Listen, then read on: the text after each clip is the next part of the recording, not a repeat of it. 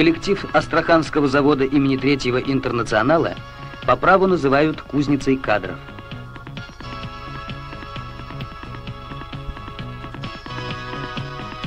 Бригадир судосборщиков Растям Сайфулаевич Абдрахманов хорошо помнит, как 15 лет тому назад пришел на завод в его бригаду Владимир Лихобабин. А теперь он уже сам стал наставником молодежи.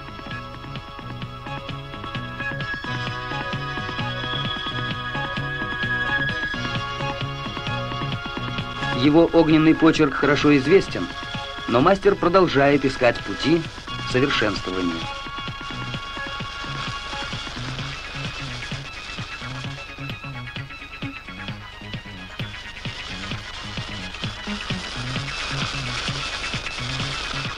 Он освоил профессии электроприхватчика и судосборщика. Ему доверяют самые ответственные работы.